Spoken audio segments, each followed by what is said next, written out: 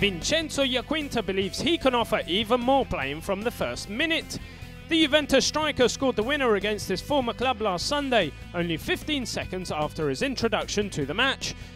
The Italy international, however, despite admitting that scoring the winner at Udinese was wonderful, regards himself as more than a super sub and is aiming to make the starting lineup for the weekend's big game against AS Roma.